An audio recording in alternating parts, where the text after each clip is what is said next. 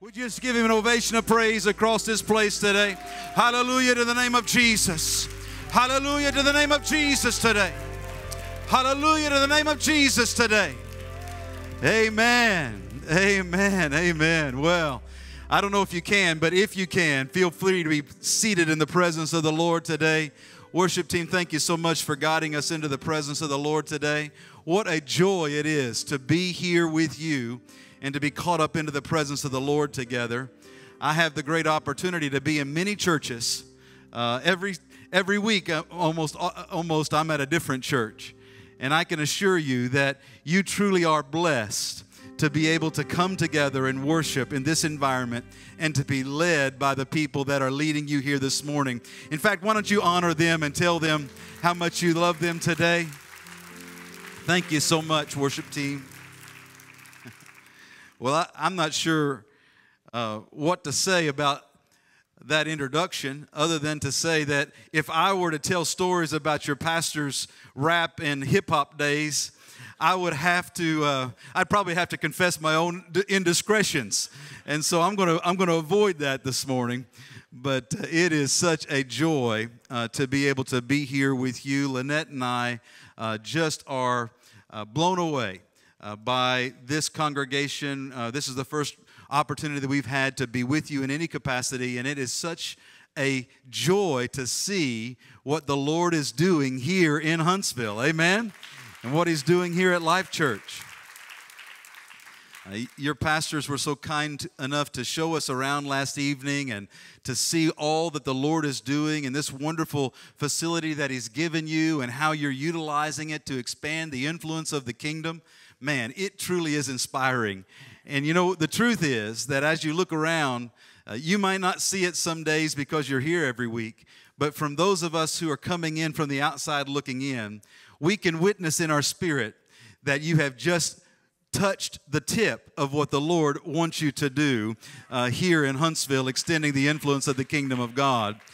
And I want to uh, just say that we rejoice with you. And we're so thankful uh, for the warm welcome and the hospitality uh, that you have extended to us uh, here today. I, I, really can't say enough about your pastors. Uh, Pastor Kevin and Amy are dear friends of ours, and we have had uh, opportunities through the last uh, how many years to intersect our paths and to have opportunities to fellowship together. And what we know about your pastors is that they are the kind of people that you want to know they're the kind of people you want to be in relationship with, and they're the kind of people that you can trust to share with you the word of the Lord and to lead you into the seasons that God has for you. And so I, really think that it would be appropriate for you to honor them today and tell them how much that you love them and appreciate their leadership. I, I, do owe you a, an additional thanks as a church that you lent them to us uh, now two years ago uh, to Minnesota. Uh, to be a part of our very first uh, summer camp meeting in Minnesota. Uh, Pastor Kevin and Amy both came and ministered the Word of God and left an indelible mark upon the people of the Minnesota Church of God. And it was just such a wonderful time of ministry and fellowship. And I want to thank you as a congregation for sending them and for giving them the opportunity not only to touch the Minnesota Church of God family, but to touch many other congregations in many other states uh, as they travel uh, and do ministry. We, we observe them and pray for them as we see the opportunities and the doors that the Lord opens for them. And so it, it truly is a, uh, a joy to watch that. And I want to thank you as a congregation for lending them to us because it, it put a lot of change in my pocket as a rookie bishop in, in Minnesota. Uh, so it really uh, blessed me. Uh, it's also great to see uh, uh, Jason uh, Halcox and his family.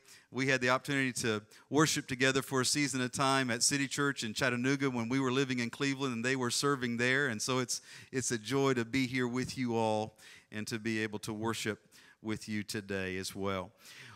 Well, you have been in a series which I truly appreciate a Back to the Bible series, and this morning we're going to do our best to conclude that.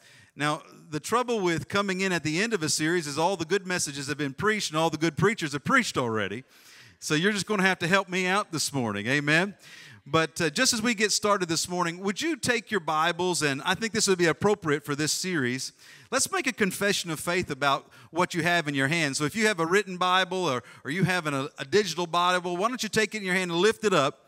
I want you to say this after me. It'll help me be a little more comfortable, and it'll help us all to understand what it is that we are turning to today. Let's say together, This is my Bible. Oh, I think we can do better than that in Huntsville. This is my Bible. This is the inspired, infallible, indestructible Word of God. I believe what it says. I am who it says I am. I can have what it says I can have. I can do what it says I can do. I will gladly receive and obey is truth without offense and I'll never ever be the same again. Praise the Lord. Now give the Lord an ovation for his word this morning. I thank the Lord for the word of God. Amen. Amen. From the mid 1800s to the late 1800s, one of the most influential ministers of the gospel in Illinois, the areas of Chicago and Northfield, and in the UK as well was known by the name of Dwight L. Moody. You might be familiar with that last name, Moody, because you have Moody Bible Institute and Moody Bible Church and the Moody Radio Network and a lot of other Moody things.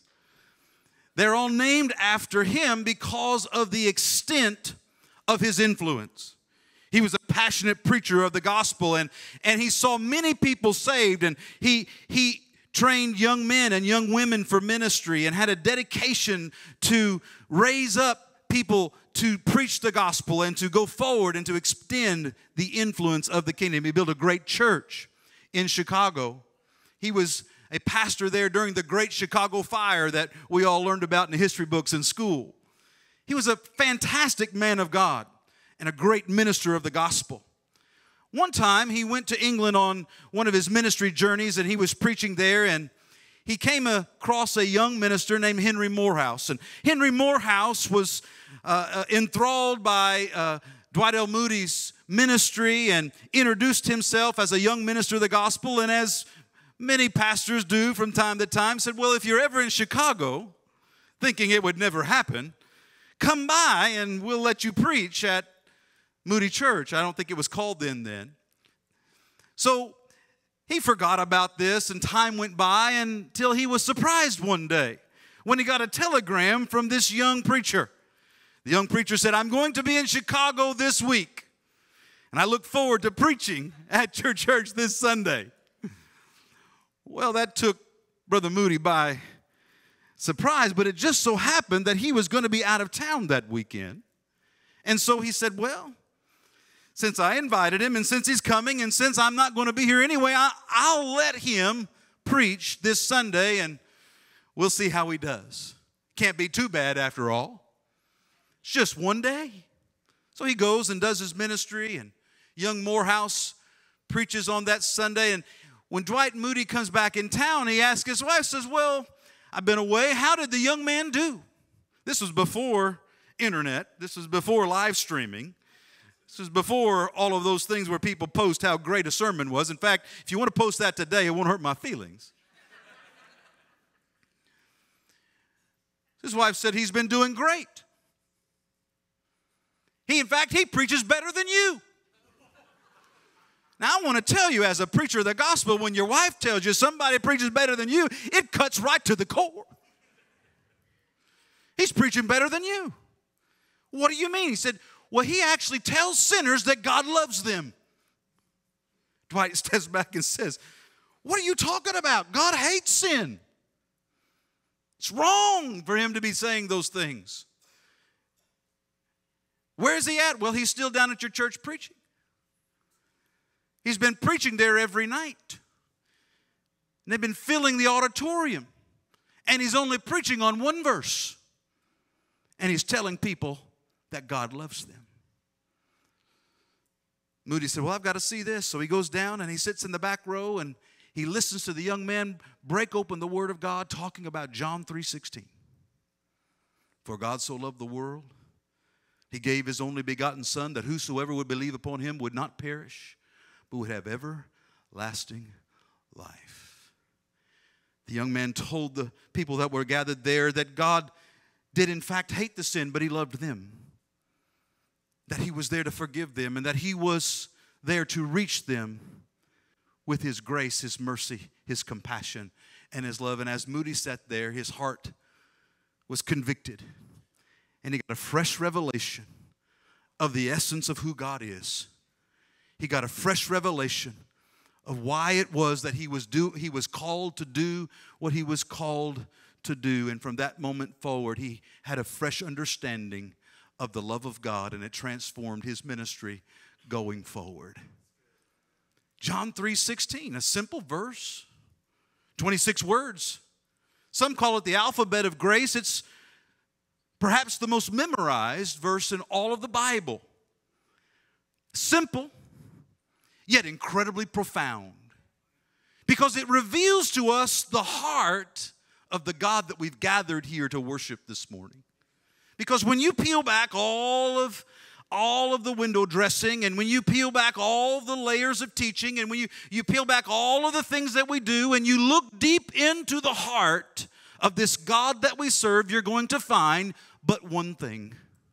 And that one thing is pure love.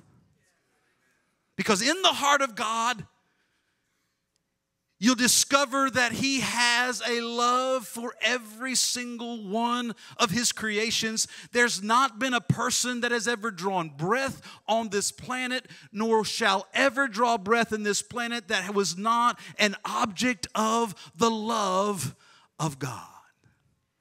Because He is pure love. 1 John 4 8 tells us that, doesn't it? God is love.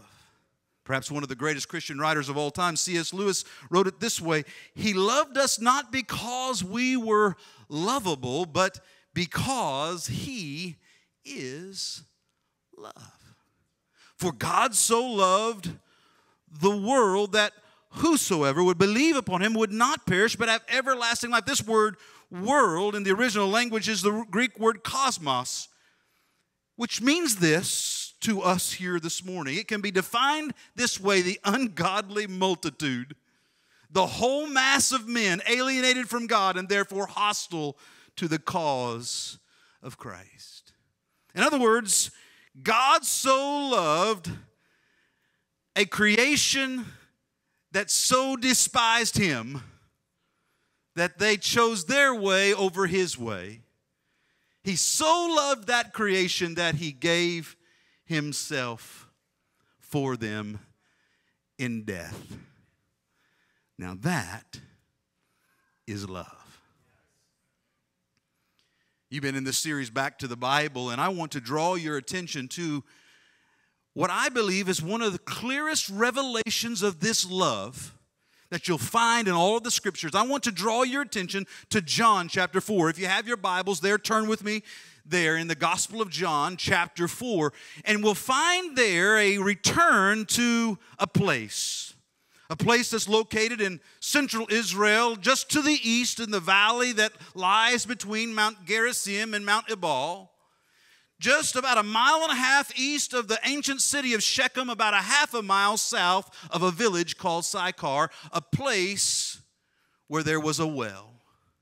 I'm going to invite you for the next few moments to return with me there to Jacob's well. A famous place. If you look back in, in the scriptures, there's not a lot of reference directly to Jacob's well, only that it was located in the, the land that Jacob gave to his son Joseph, and not far from there is Joseph's tomb. But if you read throughout the, the history of the Old Testament and the God's dealings with people, a lot of important things happened in this area.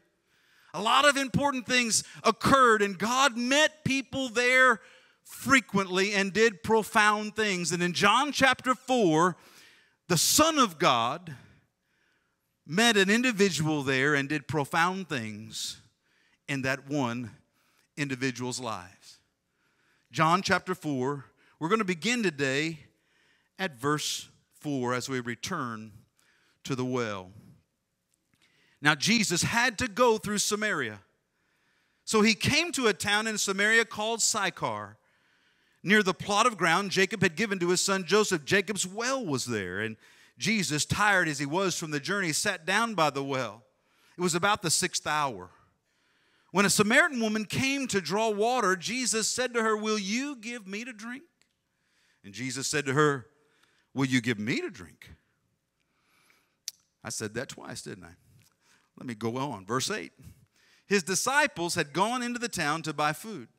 The Samaritan woman said to him, You are a Jew, and I am a Samaritan woman. How can you ask me for a drink? For Jews do not associate with Samaritans. And Jesus answered her and said, If you knew the gift of God and who it is that asks you for a drink, you would have asked him, and he would have given you living water. Sir, the woman said, You have nothing to draw with, and the well is deep. Where can you get this living water? Are you greater than our father Jacob, who gave us this well and drank from it himself, as did also his sons and his flocks and his herds? And Jesus answered, Everyone who drinks this water will be thirsty again, but whoever drinks of the water that I give to them will become in him a spring of water welling up to eternal life. The woman said to him, Sir, give me this water so that I won't get thirsty again and have to keep coming here to draw water. Now, when you read this story on first glance, it, it's interesting. If you, if you follow off the rest of the story, and perhaps you've read it this week as part of your Back to the Bible commitment. As you, as you read this, you understand what happens after this. Jesus encounters the woman and tells her about her life, and she responds to him, and she ends up receiving from him the gift of forgiveness. Her life is transformed. In this moment, Jesus does some profound things. He, he confronts restrictive social conventions, he gives hope to an outcast Samaritan woman, and he transforms an entire village. We'll get to all of those things in just a moment. When you look at this on the surface, you might not see this as a controversial story. But in reality, this love that Jesus had in his heart for this woman confronted some very strong restrictive conventions that turned society really and religious opinion on its ear. You need to understand that when this verse begins in verse 4 that says that Jesus had to go through Samaria, that was something that was not done frequently by Jews. You might say, why? Because the route from Jerusalem to get the, the Galilee in a straight line runs right through there. It's the shortest distance. It's about a two mile or two day journey on a straight line. But if you go around Samaria, it probably takes you up to a week. So it's four to five days shorter to go through Samaria than to go around Samaria. But Jews didn't often take the direct route because they considered Samaritans to be a racially inferior people. Samaritans were a mixed race in their mind. And there was a racial barrier here that kept the Jews from going through there. This verse said that Jesus needed to go through there. Why did he need to go through there? Because he was on a mission to break down racial barriers, to share the love of God with all who needed to see it and to receive it. You see, the love of God knows no barrier of race or ethnicity or culture. The love of God is given to whosoever. Remember that in John 3? Whosoever will. The whosoever's involved all of us. And at some point in, in history, all of us have been on the, the downside of someone's prejudice. We're in a season of time now when a lot of things are being said about race. A lot of a lot of words are being thrown around and there are a lot of people on the opposite sides of those issues. I want to say to you this morning that the that the love of God knows no barrier as it relates to race. And if the love of God knows no barrier as it relates to race, then our love for others should also know no barrier as it relates to race. Because every single one of us are created in the image of a living God, a God who loves us, each and every one, to the very depth of our being. So I want to encourage you today to see that Jesus went out of his way in this instance to teach us a lesson about his love. To tear down the barriers that men try to construct to divide us. Because remember what Jesus said? It wasn't Abraham that said it, Abraham Lincoln that said it first. Jesus did. A house divided against itself cannot stand. The chief, and I don't really want to wade too deep in here, but I feel led. The chief work and strategy of the enemy is division. And when he can, he sows that division.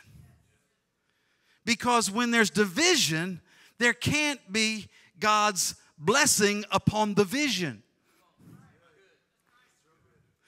And God's vision is that all of us would be saved, healed, delivered, set free, united, and empowered in one body, extending His influence and glorifying His name. Hallelujah. And so it's the love of God received in our hearts that overflows to those that are different than ourselves.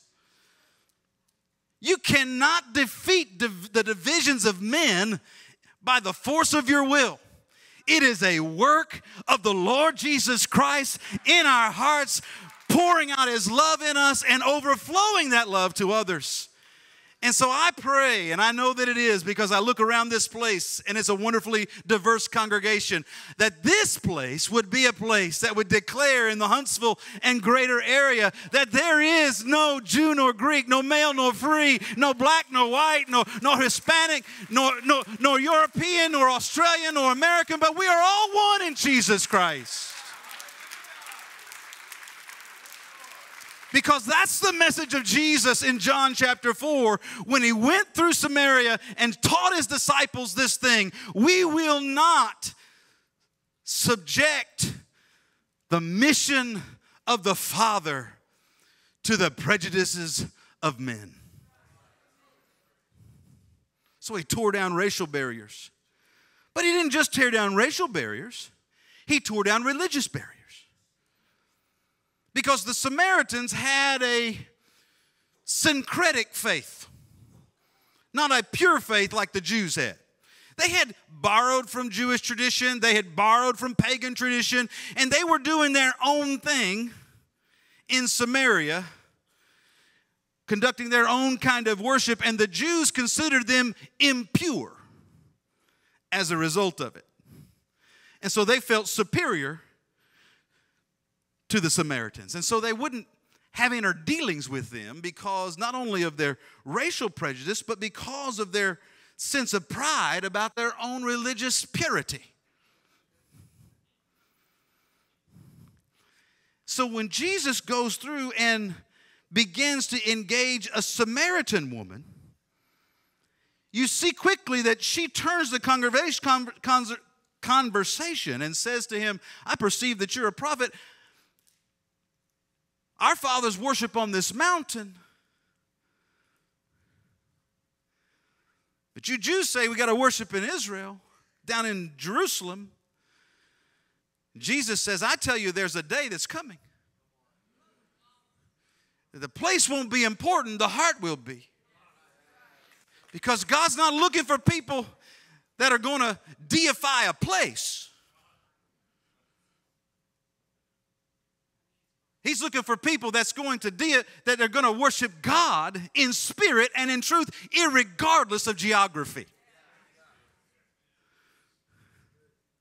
In purity of heart. And so the love of God is tearing down the religious barriers that were constructed that would have prevented this woman from ever hearing that truth.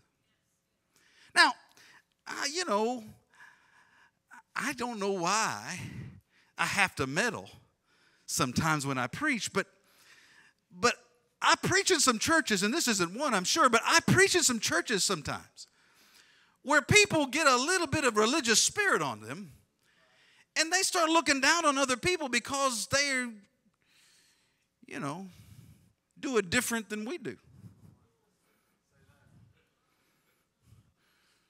Different stylistically, different geographically, different methodologically, whatever you might want to, whatever the difference is, we find any number of ways to draw differences and distinctions to make ourselves feel better. I'm here to say to you something today. The love of God calls us not only to go beyond racial divisions and barriers, but to go beyond religious divisions and barriers. That's not to say that we, at all, in any way, sacrifice the truth of our faith, nor, nor the, the, the, the integrity of this word. Now, I'm not suggesting that in any stretch of the imagination. In fact, I'm suggesting that we don't allow our religious prejudice to keep us from sharing the truth and the fidelity of this word with people who don't understand it yet. And that's what Jesus was doing, see. He wasn't endorsing their worship at the mountain or their syncretic faith. He was simply saying there's coming a day when traveling Jerusalem is not going to be the key thing. What's going to happen, what's going to matter more is that you understand who God is and that you worship Him in spirit and truth from your heart in the right way and the right motive. And so I'm suggesting today that, that we tear down religious barriers that keep us from bridging into other communities of faith and say, This is, in fact, the Word of the living God. It is infallible, it is inspired, it does hold the truth. Sure, we look different, and sure, we worship different, and sure, we do things differently, but in Jesus' name, we are worshiping together in spirit and in truth, and we are one body united in Christ Jesus, empowered by His faith. There is one Lord, one faith, one baptism in which we all live and move and have our being. Hallelujah. It's okay. I'll be back in Minnesota in a couple of days. You won't have to mess with me anymore. Forgive me for meddling just a little bit. I just want to share with you what the Lord has laid on my heart. We cannot allow barriers that are of man made construction to keep us from uniting with people of like faith, whether or not they're different than us or not. Hallelujah. Praise the Lord. I'm going to pat myself on the back later for saying it. Amen. The third thing I want you to see here is that he not only tore down racial barriers, he not only tore down uh, religious barriers, he tore down social conventions. Now, this was perhaps the most scandalous of everything that he did. He had the temerity to address a woman,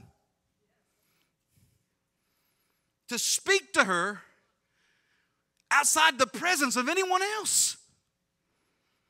Now, it was, in fact, a violation of the Talmud, the religious oral tradition of the Jews, for a rabbi whom Jesus was to address a woman in this way. He was absolutely violating the social conventions. Not only the social convention, but this, this woman was not just any woman, she was a scandalous woman. If you read on in John 4, you find that she's had five husbands and she's cohabitating with another man. That's why she's there at the sixth hour of the day and not earlier. She's there in the heat of the day at noon, not early in the morning when all the other women would come from the village to gather water. Why? Because the well was a place of ridicule for this woman. If she was to come in the middle part of the day, the other women of the town would ridicule her and, and would cause her to feel more and more like an outcast. They wouldn't welcome her. They would, they would relegate her to the edges and, and ridicule her. So she returned to the well in the middle part of the day, hoping that she would find no one and hoping upon hope that she would find someone. Her life was miserable. She'd been wounded and used and betrayed. She'd been bruised and, and, and, and, and uh, uh, uh, abused. She'd been treated like nothing. And, and her self worth had to be lower than low. She's coming out one more time, returning to the well, because she had to do it every day because that's the way that that worked back then. You had to go to the well every day to get water for the day. And so she's going And she's going down that path thinking to myself, well, I hope there's nobody there. I hope there's nobody there. I, I, I really don't, I just don't want to see anybody today. And then she gets there and finds a Jewish man sitting there, a rabbi at that. And he had the temerity to address her, tearing down the social conventions that devalued women and falsely elevated the value of men. I want to share with you something here today. Men are not more valuable than women. Women are not much less valuable than men. But we are created equally in the image of the Almighty God. And we are equally qualified to receive the grace and the love of Jesus Christ. Regardless of our gender, regardless of our past. There is nothing that can, that can keep us from being able to access this infinite, limitless, all encompassing love that seeks us out, like the song sang earlier, blows into our life like a hurricane force wind and reveals itself to us. And this is what Jesus was showing to his disciples. Because in verse 27, you'll find when they came back, they saw that Jesus wasn't resting as they supposed that he would be, but in fact, he was engaging a Samaritan woman and they were shocked. It says they were surprised. They said, looked at one another. You see what I'm seeing? We can't leave him alone for five minutes. This guy over here, what's wrong with him? Doesn't he know that's a woman and a Samaritan woman at that? In fact, there were, there were some rumors about a woman like that in the town when we were there. But you know what they did? We better not say anything. Because we've said some stuff before. Even Peter held his tongue. What was Jesus doing? He was going after the outcast, he was going after the lost, he was going after the one sheep that was outside of the fold. And he was demonstrating with a powerful illustration to his disciples we will not withhold this love, this love of the Father, from a stranger, a foreigner, or a woman.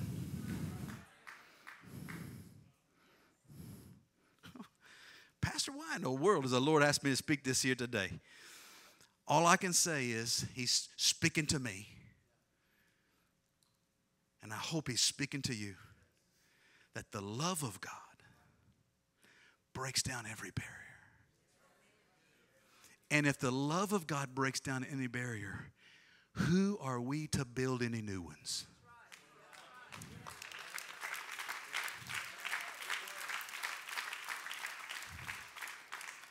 There's not a one of us perfect in this. There's not a one of us perfect in this. So we are all subject to the challenge today to follow the, the example of Jesus at the well, to break down barriers, because the Son of Man came to seek and to save that which is lost. Now, that's the first part. That's a challenge. Here's an encouragement. Not only are we challenged not to build barriers and to let the love of God break them down, but we're also, it's also, this also reveals to us that none of us are beyond the reach of this love.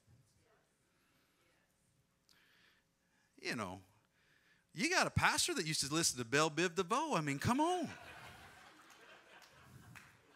I mean, come on.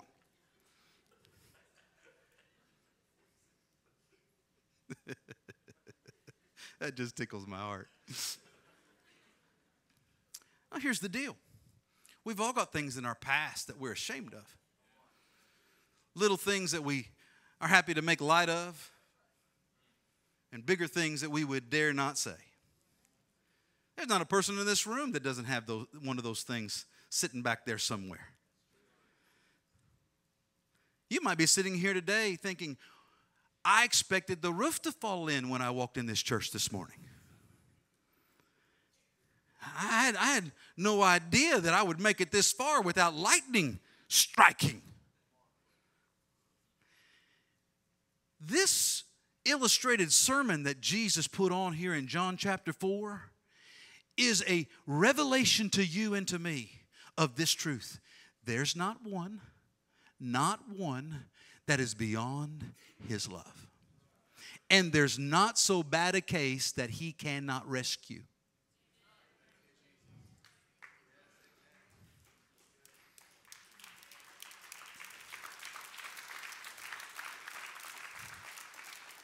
Think about what happens here.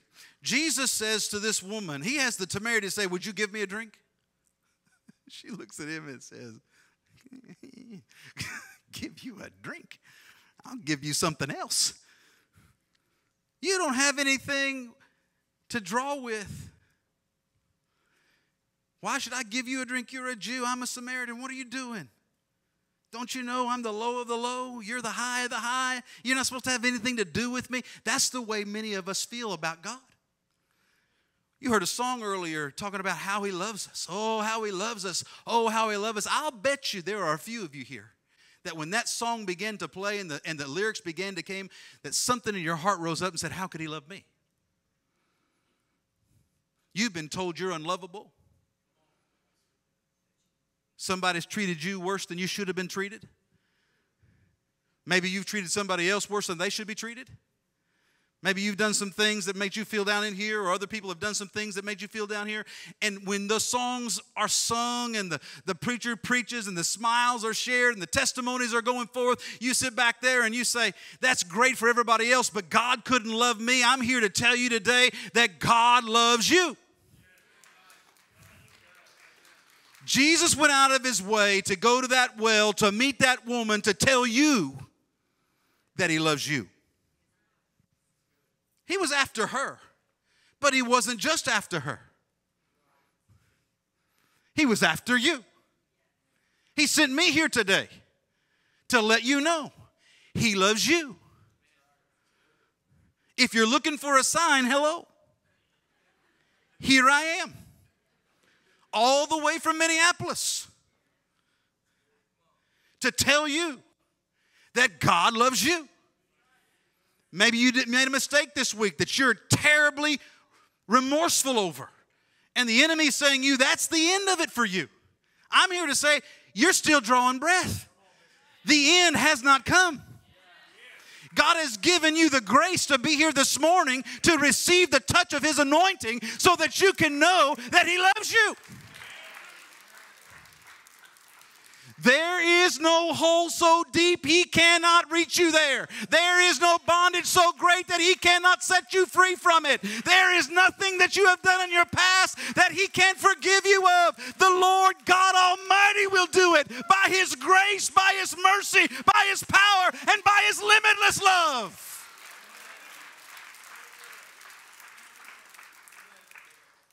Lest you feel a little high and mighty about now, let me tell you, there is nothing you have ever done in your life as good as you have been to ever earn this love. Your righteousness is as filthy rags before Him. You might consider yourself good in comparison to other men, but there is no man that is good save Jesus Christ, the righteous one. He is the only one that is good. If you think you're good, you're, you're, you're, you are comparing yourself to the wrong standard. He's the standard, not your neighbor. I've been tempted at times when I failed to look around and say, well, at least I didn't do that.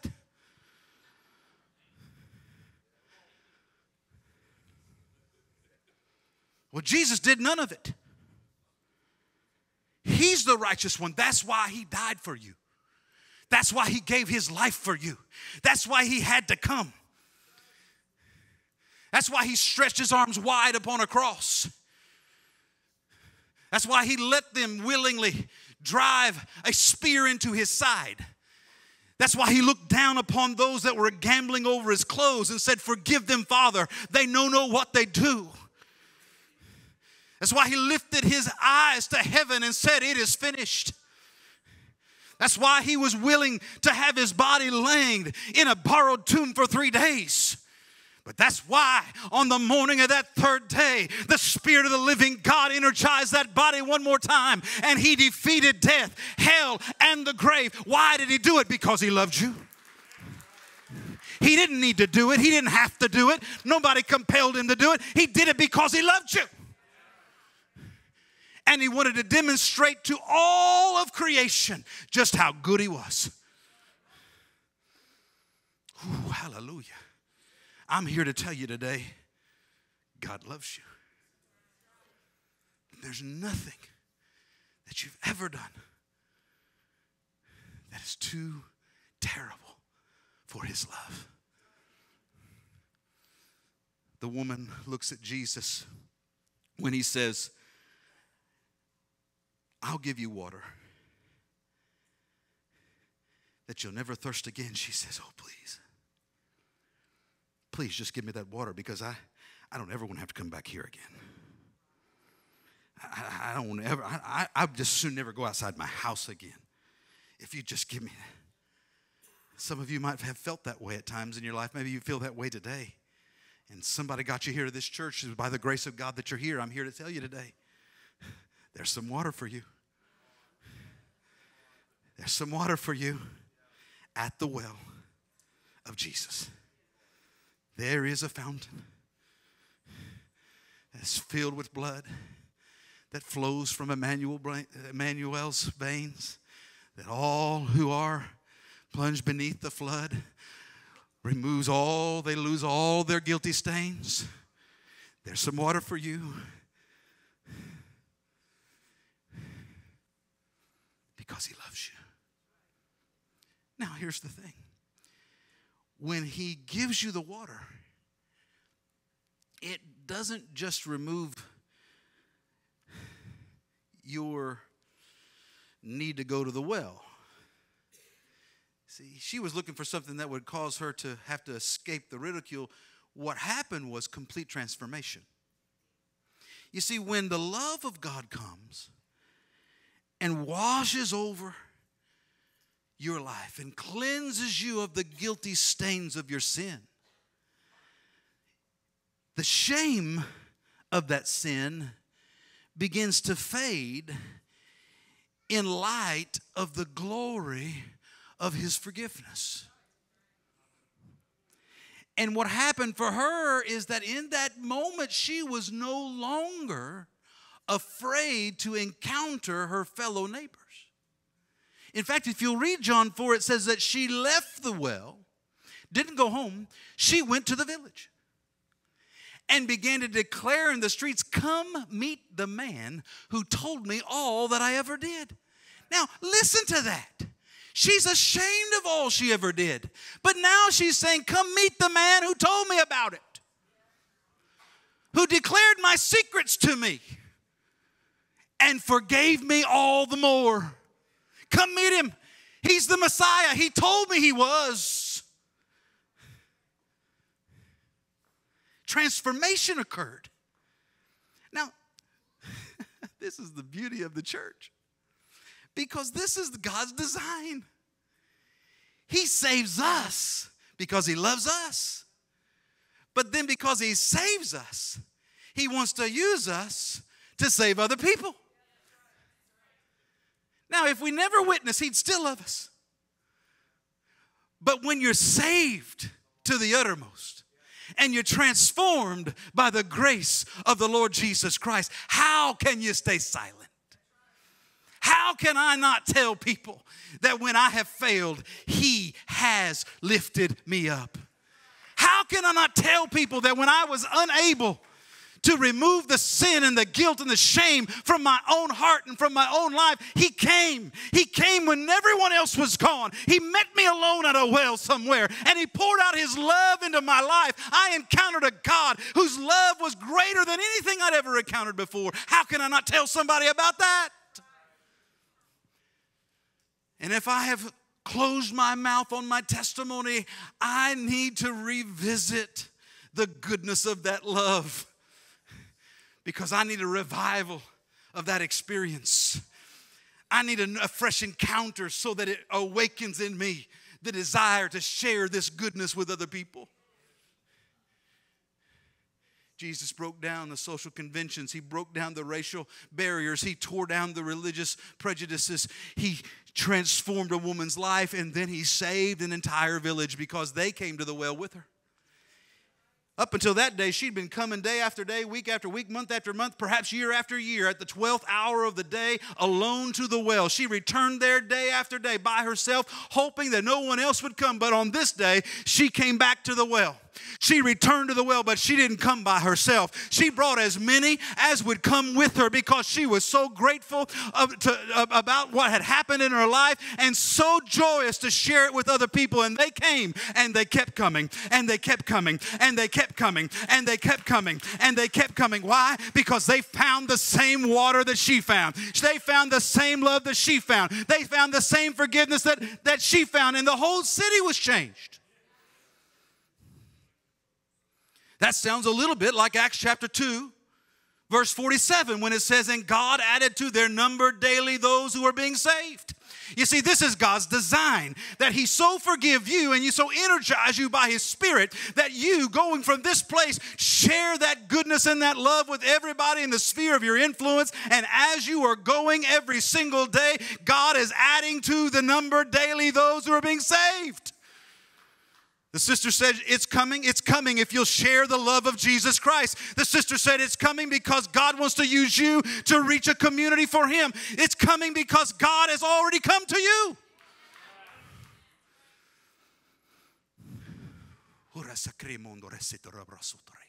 Hallelujah. My God have mercy. If the church would be the church, if we'd be the fountain of love to the world, we wouldn't have government officials fighting about all the nonsense they fight about. Because the press would be covering us. Because the drug, addicts would be coming out of the boroughs. The gangs would be laying down their, their, their weapons. The school shootings would begin to stop. The mental health crisis in our nation would begin to be healed families would begin to be restored, the foundations of society would begin to be rebuilt. You see, and then the shift would turn. We're never supposed to be relying upon a, governing, a governing authority to do this kind of work. This is the work of the kingdom of God. If we'll be like Jesus and start meeting people at wells, villages will be changed. Your neighborhood will be changed. Your school will be changed. Your workplace will be changed. Your family will be changed. Sons and daughters will be saved. Grandsons and daughters will be saved. Parents will be saved. People will be delivered from all kinds of lifestyle issues and sins and bondages. Let's not water it down. Because the love of God is greater. The love of God is greater. The love of God is greater. But we have to return. We have to return there. Return to the place of our encounter with God, that He might fill our lives afresh and anew. I've got to quit. I've got to quit. Somebody t- argue with me. I'm, I'm waiting for somebody to argue with me. Nobody's arguing with you. I guess I better quit. Years ago, there was a young man who had a terrible, terrible fight with his father. We've seen these kinds of things happen. He was of an age where he could leave home, and so he left home, and he was gone for many years. But he kept in touch with his mother from time to time. And one year, one Christmas, he wanted to come home, but he was afraid that he couldn't because his father wouldn't allow him to. He wanted to come and see his mother and see his family, but he was, he was so afraid. So he sent word to his mother and he said, I'd like to come home, but I just don't know what to do. And the mother wrote him back and said she would talk to the father, and if the father had forgiven him, when he came down the street, there would be a white ribbon tied on the limb of the tree in the front yard. If you see the white ribbon, then you know the Father has forgiven you. And you can come home for Christmas. So he boarded a train and he began home. As he got closer, he got more nervous and he got off at the train station and he began to walk toward the house. He began to trod down those familiar streets. He turned down the corner toward his house and he was afraid to look. He looked down at his feet until he got close enough to where he knew he was right in front of his house. But he didn't want to look because he was afraid his heart would be broken. But when he looked up, he opened his eyes and he saw something he couldn't believe. There was a white ribbon tied upon every branch of the tree. Every branch had a white ribbon on it because his father didn't want him to make any mistake. All was forgiven, and he was welcome to come home. We have so many deceptive lies in our head that keep us from returning to the place of the Father's love.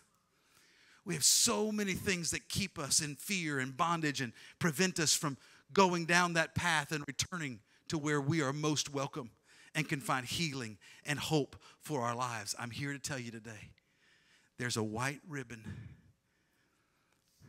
on a tree called Calvary. Jesus died there to let you know it's okay to come home. You can be forgiven. In fact, you already are if you'll just believe. For God so loved the world, if someone could come play for me, if God so loved the world that he, be, he gave his only begotten Son, that whosoever would believe.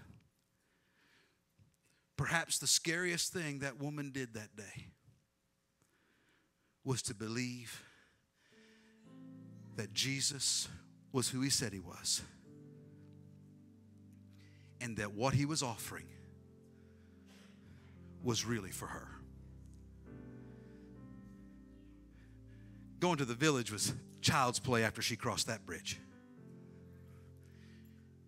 She'd had too many broken promises. She'd, she had too many untrustworthy words. She'd had too many men lie to her.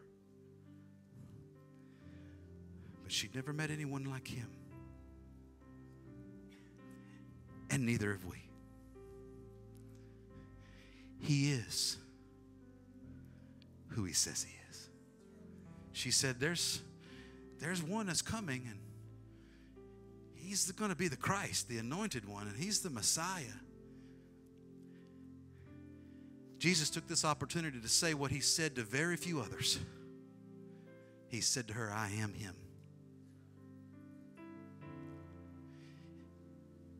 You might have came here today saying, Who in the world can I turn to? How can this hurt be healed? How can my life be changed? And this thing that's being said from that stage right now, I sure want to believe it. But is it true?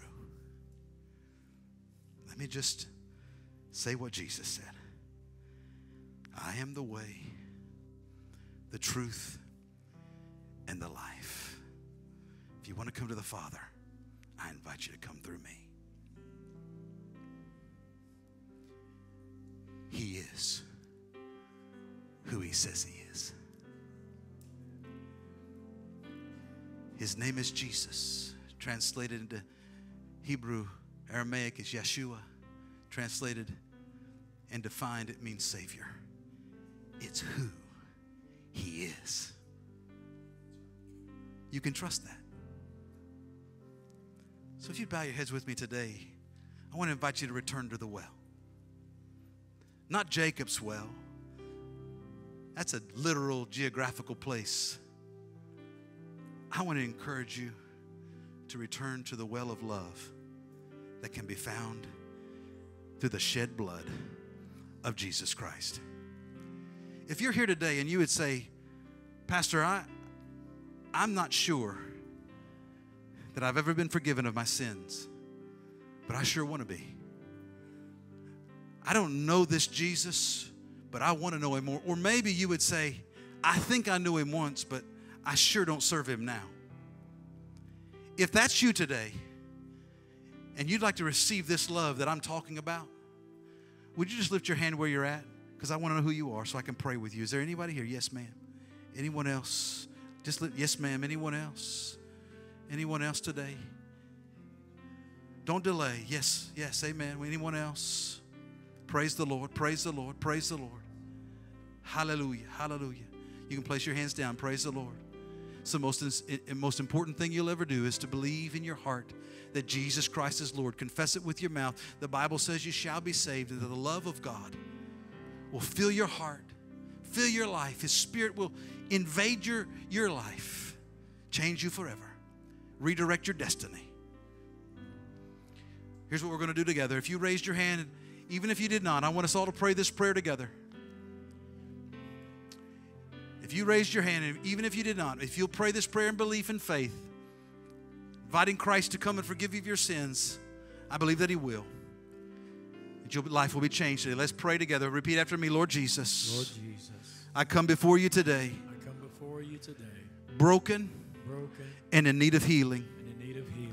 I come before you today, I come before you today, having sinned having sinned and needing your forgiveness. and needing your forgiveness. I believe today I believe today that you're the Son of the living God, that you are the Son of the living God, that you died for my sins, you and that you rose again that I might have life. that you rose again that I might have life. I ask you now ask you now to forgive me of my sins, forgive me of my sins, and Lord, to be my Lord, to be my Lord, and help me and help me from this day forward from this day forward to live for you. to live for you. Fill my life with your presence, Fill my life with your presence. empower me with your spirit, Empower me with your spirit, that I might serve you all the days of my life. that. I might serve you all days of my life. In your name I pray, In Jesus. your name I pray, Jesus. Amen. Amen. I'm going to invite the prayer teams to come and stand around these altars. In just a few moments, I'm going to give another invitation. I'm going to give an invitation to those of you who need a fresh touch of the love of God. If you accepted Christ as a part of that prayer, I want you to come as a part of this second invitation and let someone pray for you and tell them that you accepted Christ and they can help you to get started on the right path. But I want to invite others of you here today who would say, you know, as you were preaching today, Pastor, the Lord really was drawing on my spirit, and I realized I need a fresh outpouring of the love of God in my life. I felt ashamed, or I felt beaten down, or I felt wounded, or I felt bruised, I felt weak, and I need the love of God to come and to change some things in my life today. In just a moment, I ask every and and when everybody stands, if you would like to respond to that to that to that invitation and have somebody to pray for you, as we stand, I want you to get out from where you are and come forward and let these folks pray for you. And if you accepted Christ, I want you to come as well. So, would you stand to your feet right now? And as this worship team begins to sing, if you need prayer, you need an outpouring of the love of God in your life, don't leave this place, but come forward. Come forward right now and let the Holy Spirit begin to minister to you. Come on now. Come on now. There are many that need to respond. There are many that need to respond. Come forward.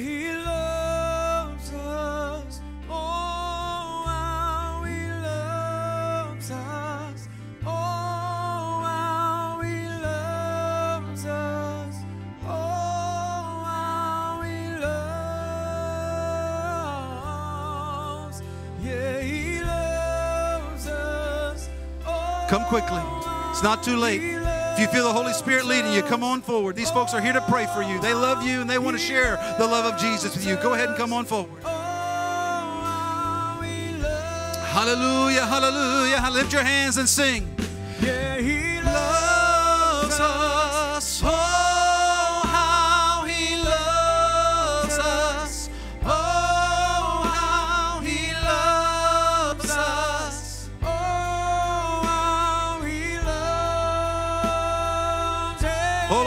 You for your love. We thank you for your love, Lord Jesus. Oh, how he loves. Kurara seremono kosura manda kasaya. Oh, how he loves us. Praise your name, Lord. Oh, how he loves. Hallelujah to your name. While these are praying, if you would just bow your heads with me right now, I want to pray for you. Lord, I pray in the name of Jesus for these that have come down here that you would pour your love out into their lives in such a powerful way. Transform them today and transform and redirect their destiny. And I pray for everyone else that's gathered in this place today and those that are listening online. I pray that this very moment, a fresh revelation of the love of God would fill their hearts and minds. And Lord, where there is woundedness, I pray healing would come. Lord, where there is weakness, I pray strength would come. Lord, where there is shame, I pray confidence would come. Lord, where there is rejection, I pray that acceptance would come. Lord, I pray where there has been prejudice, Lord, there will be acceptance. In Jesus' name, I pray your love be poured out upon these people. And Lord, not only upon these people, but through them, I pray you would love this community, that you would love this city, and God, you would expand the influence of your kingdom here in Huntsville and the surrounding area. Lord, we ask it in the name of Jesus today. We ask it in the name of Jesus today, the lover of our souls. Amen. Amen.